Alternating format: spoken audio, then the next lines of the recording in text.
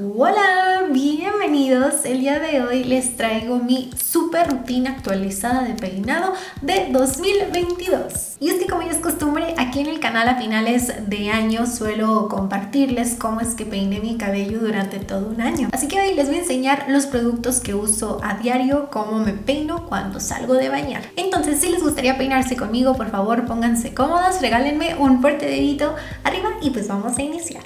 Bueno, pues lo primero, lo primero, vamos a quitarnos la toalla. En esta ocasión no les voy a mostrar eh, mi rutina desde que lavo mi pelo porque siento que, bueno, todos aplicamos shampoo y acondicionador casi del mismo modo, así que eso a mí no me parece tan interesante, simplemente les puedo decir que en mi baño ahorita tengo el sedal, quinoa y linaza el shampoo que me encanta y como acondicionador utilicé el sedal ácido hialurónico más vitamina C que también es uno de mis favoritos. Y bueno, ahora lo que sigue es ponerme un gel fijador. En esta ocasión me voy a poner el de DPT porque siento que este año volví con mi obsesión hacia este gel. A mí realmente me encanta. Disfruto mucho cómo huele el color del producto, lo ligerito que es y simplemente lo que hago es tomar un poco, más o menos algo así. Y esto me lo voy a poner en todo el cabello, pero voy a enfocar una mitad completamente en la raíz y la otra mitad de medias a puntas. Y otra cosa por la que también me gusta mucho este gel es porque está enriquecido con aloe, proteína vegetal y vitamina E.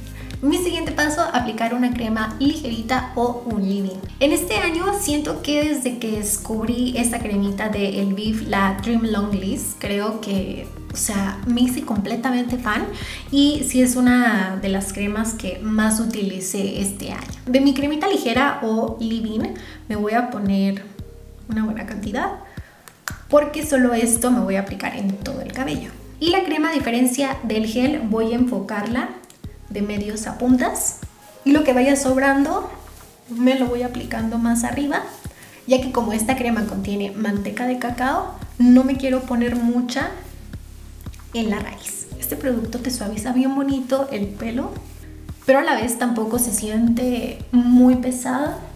Y ahora sí vamos a darle forma al cabello. Voy a dividir mi pelo por la mitad Ahora por secciones lo que voy a hacer es aplicarme una crema más concentrada desde sus ingredientes y hasta la textura. Esto porque a mí me gusta con una crema un poco más eh, espesita darle forma a mi cabello también como para hacer más fuerte mi living. Ahorita la crema para peinar que estoy utilizando es la Eva NYC que me fascina.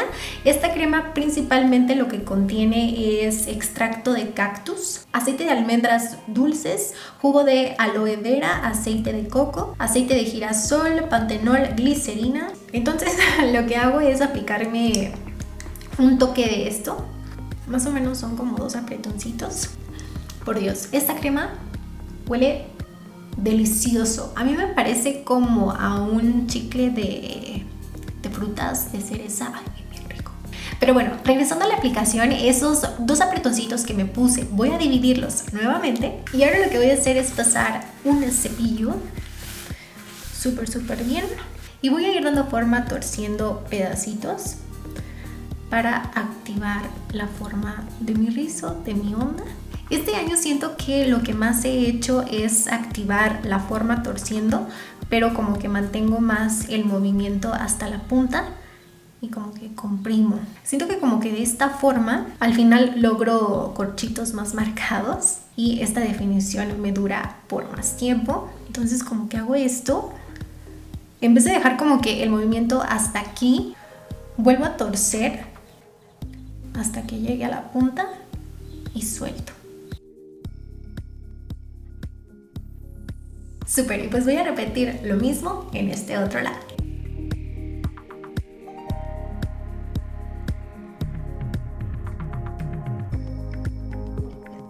Ahora yo acostumbro dividir más o menos por esta parte, lo de enfrente, y lo restante nuevamente por la mitad,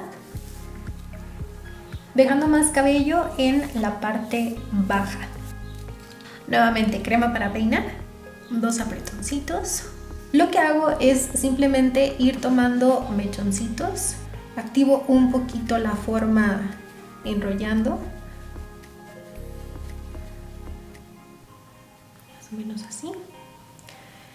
Y comprimo. Esto para que la parte del medio crezca un poquito, tenga más volumen el pelo. Igual para mí es parte clave no peinar mi pelo escurriendo de agua. Es importante que esté como en ese punto medio, húmedo pero no súper súper mojado. Y ya para las últimas dos partes, nuevamente dos apretoncitos de crema para peinar.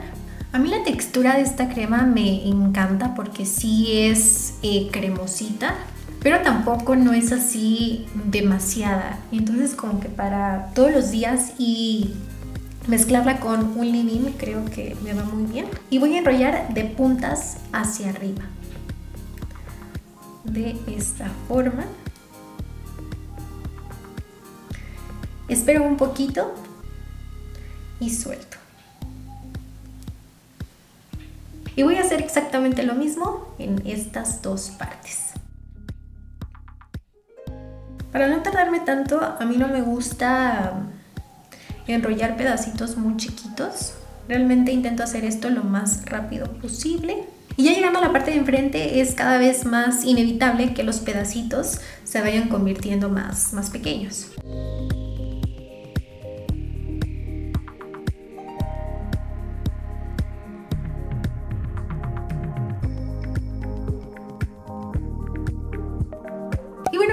Es como he estado peinando mi pelo durante la gran mayoría de este año. Ya solo falta secarlo, así que voy a pasar mi difusor y una vez que esté pues completamente seco, yo estoy de vuelta para que conozcan el resultado final. Así que por favor, no se vayan.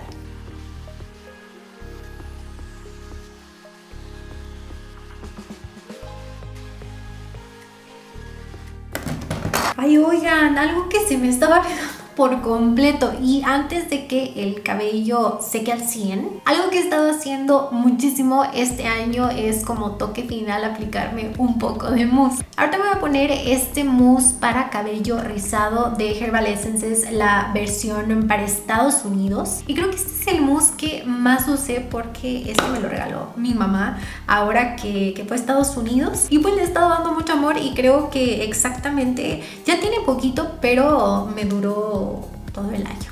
Para sellar las cremas para peinar, me pongo una bolita. Y sí, antes de que todo el pelo pierda la humedad, me voy a aplicar un toquecito nada más. Y es que ya no se los iba a enseñar, pero definitivamente esto es algo que sí hago cuando peino mi pelo y lo lavo. Y dejo de comprimir una vez que siento que el mousse comienza a secar. Y pues ahora sí, sigamos secando el pelo.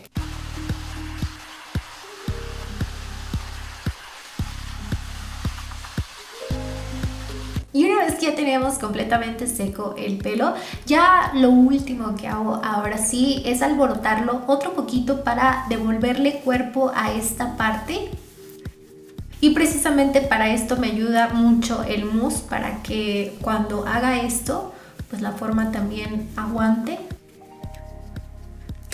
Y otra cosa que últimamente me ha estado gustando mucho hacer es que, por ejemplo, yo tengo el partido más o menos como por esta altura, no tan justo por la mitad. Entonces lo que intento hacer es que una vez que tengo como esta rayita de que unos tres dedos, esta parte la divido ahora sí justo por la mitad, más o menos todo este mechón. Lo paso para acá y de esta forma siento que creo un balance visual nada más. Porque sí me gusta que un pedacito se me vaya más como para del lado, pero no completamente todo el pelo. A veces dejo este pedazo fuera, pero también muchas otras paso este mechoncito atrás de las orejas. Gente bonita, pues aquí lo tienen. Esta fue mi rutina. Ahorita simplemente lo que hice fue voltearme las puntas a un lado y pues también es un estilo que me gusta mucho. Ay, pues ya lo saben, los quiero mucho. Nos vemos en la próxima. No olviden suscribirse. Adiós.